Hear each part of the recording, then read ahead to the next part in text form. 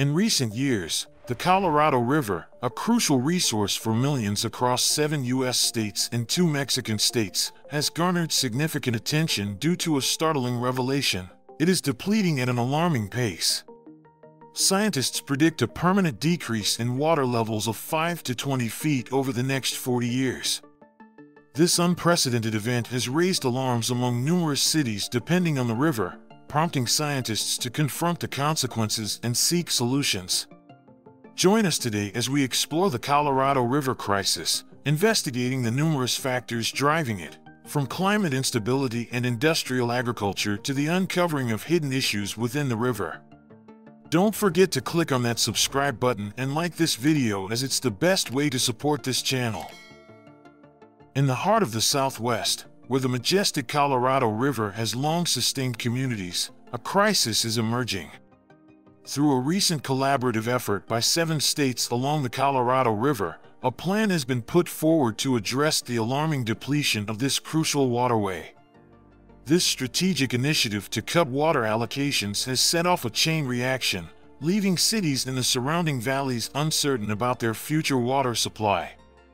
The Colorado River, often revered as a symbol of life for the arid region, serves as a vital source of drinking water for an astonishing 36 million people. Its waters are essential for agriculture, nourishing crops that support communities and livelihoods. However, the current drought affecting the river is not merely the result of nature's whims. It highlights the complex interplay between human activities and environmental sustainability. Weather instability plays a central role in this unfolding drama, as fluctuations in rain and snowfall significantly contribute to the Colorado River's decreasing water levels.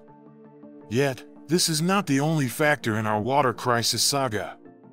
Industrial farming, a major water consumer, uses an astonishing 75% of the river's water for irrigation. As vast tracts of agricultural land draw their lifeblood from the Colorado, the river bears the burden, inching closer to a critical state of depletion. The repercussions of this crisis echo through major cities that rely on the Colorado River for their essential water needs. Los Angeles, San Diego, and Denver find themselves at the center of growing concerns about the sustainability of their water supply. As the river's flow diminishes, the pressing question of how to secure a future water source looms large over these urban areas. This situation compels communities and policymakers to confront the stark reality of a shrinking water supply and to seek viable solutions. As the waters of the Colorado River recede, a haunting revelation surfaces. Dark secrets, hidden beneath its depths for decades, are now exposed. In the drying expanse of Lake Mead, a reservoir along the Colorado River, the startling discovery of human remains adds a ghastly twist to the unfolding environmental saga.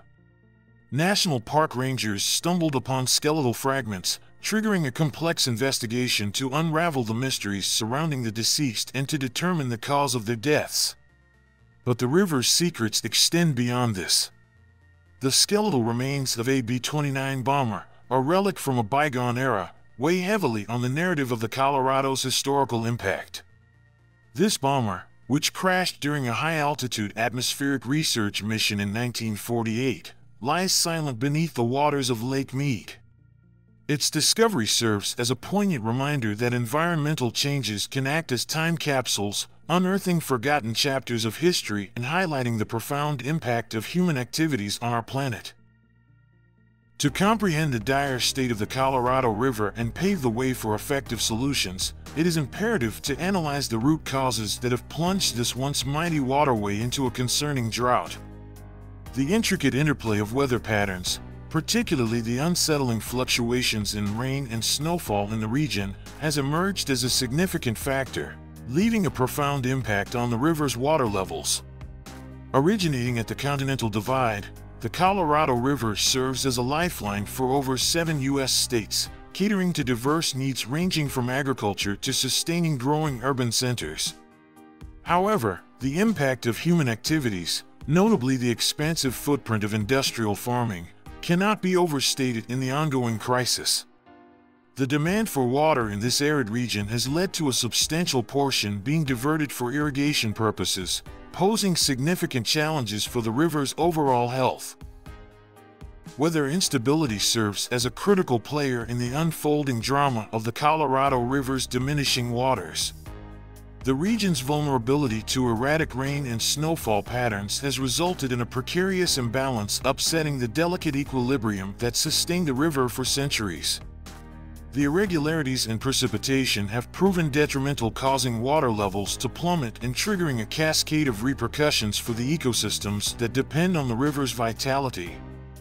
Scientists grappling with the implications of this weather instability are confronted with the grim prospect of water levels teetering dangerously close to critical thresholds as the very source of life for vast agricultural expanses and burgeoning urban centers.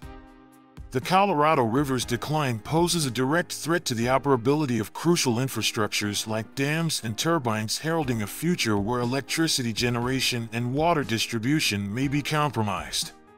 Industrial farming emerges as a significant contributor to the plight of the Colorado River, exacerbating the challenges posed by unpredictable weather patterns. The expansive agricultural practices in the region, aimed at producing vast food crops, come at a cost.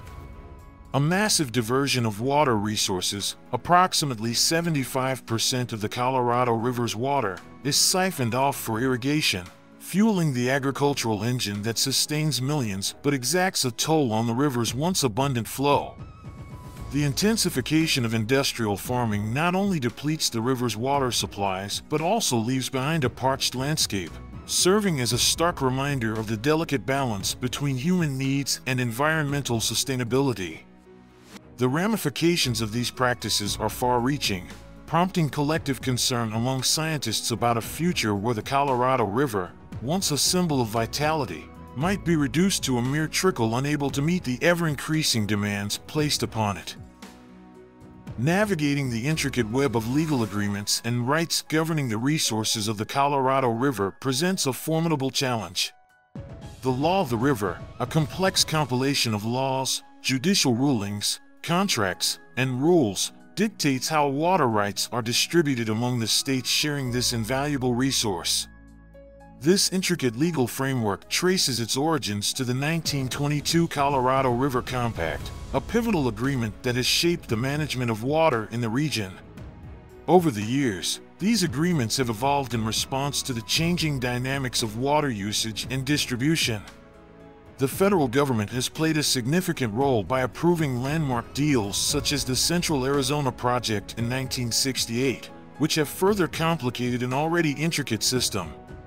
Water rights allocated based on seniority confer the authority to extract water from the Colorado River.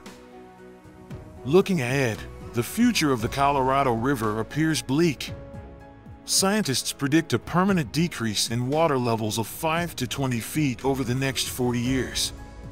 This ominous forecast is attributed to various factors, including climate change, reduced precipitation in the Rocky Mountains, and rising temperatures. Consequently, the river's flow is expected to diminish further, potentially affecting electricity production, agriculture, and urban water supplies. The challenge now is to find sustainable solutions to mitigate the impact of the Colorado River's drying. As the river continues to reveal alarming secrets and its water becomes scarcer, the need for effective conservation measures and innovative water management strategies becomes increasingly urgent. What are your thoughts on the Colorado River crisis? Leave your ideas in the comments section below. Thanks for watching and see you in the next video.